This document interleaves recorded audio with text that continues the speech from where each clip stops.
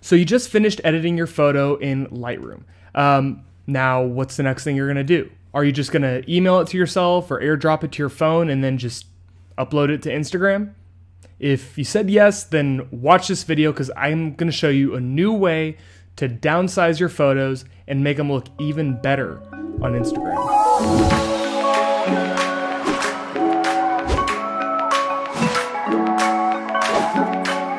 So there's a few reasons why you'd want to resize your photo before you upload it to Instagram. One being that sometimes the image sizes can get massive and you just don't want it clogging up your phone. Two, um, I've had problems with Instagram before with extremely high resolution images and Instagram just doesn't handle them well. And number three, and this is the most important, I'm gonna show you a way to optimize the sharpness on your photos when you're downsizing it to a small image size. So in this video, I'm gonna be showing you an action that you're going to create in Photoshop to actually downsize your image so you can upload it and make it look better on Instagram. Now, I'm not going to supply you guys with a download for, uh, for the action.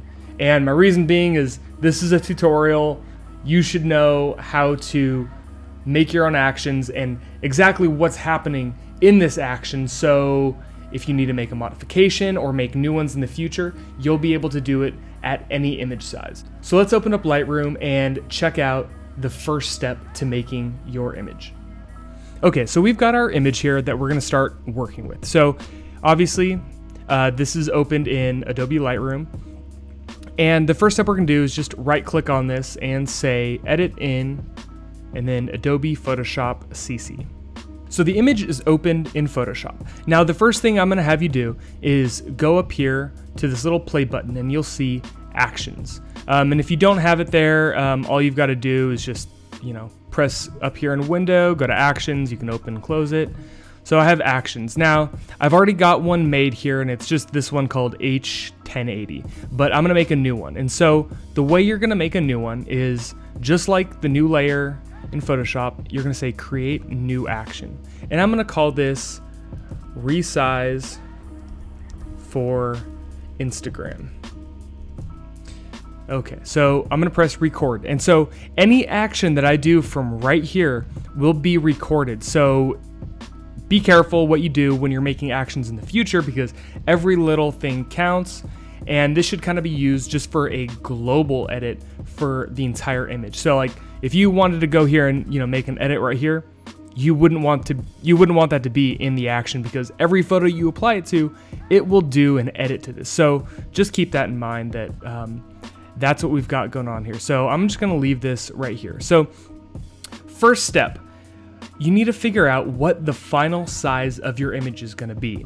Um, now, I already know this. The final width of the image is going to be 1080 pixels wide. So um, that is just the size that uh, Instagram deals with on the horizontal axis. So that's what we're going to deal with. But we have one step before we resize the image, and that is to take the final image size and multiply it by 1.666 repeating. So um, I've already got it kind of figured out here, but I'm gonna clear it. So you can do this to your image if you're doing a different size, but this one is gonna be 1080 wide.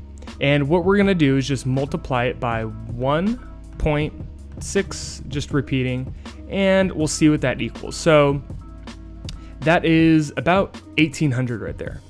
So we're gonna go back into Photoshop and all you have to do is go up here to image, image size, and then we're going to put the width to 1800. And that'll apply um, the resizing to both. Oops. Okay.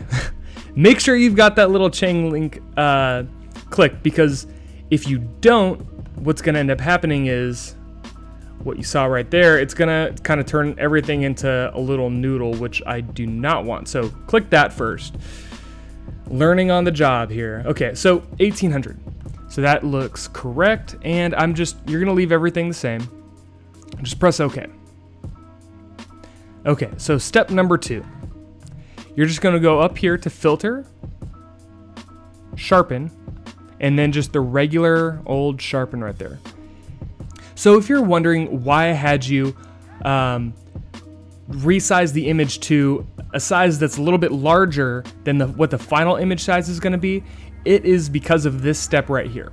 What we're doing right now is because the image is a little bit larger than what the final image is going to be, when I'm doing the sharpening here, it'll actually kind of uh, work like a sub-pixel sharpening. So the sharpening is, is going to be more effective than what it would be if I just resized it all the way tiny and then tried to sharpen it from there. It just wouldn't work well. So um, if you aren't very interested in kind of the uh, technical portion behind that, just know that this works and uh, just kind of follow along here. So the next step after I just sharpened it is I'm going to duplicate this layer and then add another thing of sharpening to this. So it looks very sharp right here, but we have another step, and that is to go back to image size, and now we're gonna enter in the final image size that we want, which is 1080 wide. So then we're just gonna press OK. And okay, so that is the final image size here, but there are still a few more steps. Now, these ones are, you know, a little bit more um, technical, but, you know, it's still easy to do. Now, the first one I'm going to have you do is go up here to the uh, make a new adjustment layer, and I'm going to have you click on the levels. So that'll pop this window up right here. Now, what I'm to have you do is take this middle slider, and all you have to do just drag it this way a tiny bit.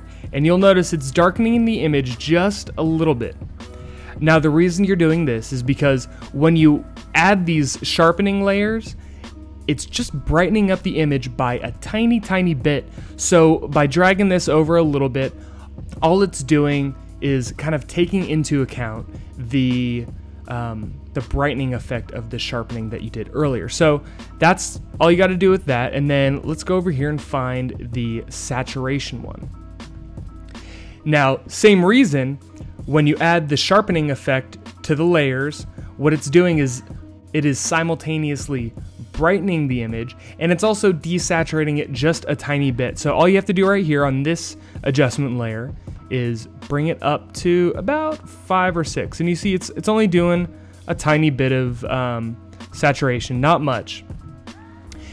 Now go back up here to actions and press stop.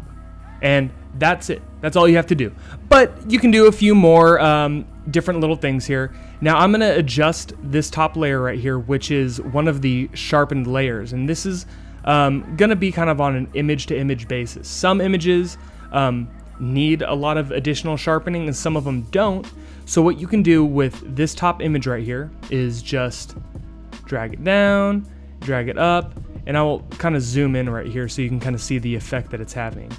So all you have to do, go to opacity, drag it down, drag it up, and then you can put it anywhere in between to see where you like it. So I'm gonna bring mine to about right here, like 63, doesn't matter. Um, and that'll be the image that I export. So all you have to do from here is just save the image as you'd like it and send it off to Instagram. Now, just to give you an idea of uh, the difference in quality between this and a standard resizing of this same exact image, I'm going to go and open this again um, and check it out. So let's see, where is that image? Okay, so I've reopened uh, the same image except this is the full size again. So you can see all the little details down there. Um, and what I'm gonna do is just do the standard image resizing. So I'm gonna go uh, 1080 wide, say okay. And then I'm just gonna copy paste this into my other document over here.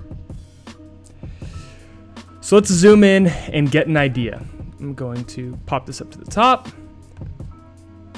Now look at that Look at that. That is a huge, huge difference. Now look at some of the smaller details here, like maybe the antenna, uh, maybe some of these buildings in the background here, and also um, some of the details here on the building. So this is the standard Photoshop resizing, and then this is the action that we just created. Boom. Look at that. Huge, huge difference. Especially, yeah, let's do it one more time down here. So that's standard. This is the one that we just created.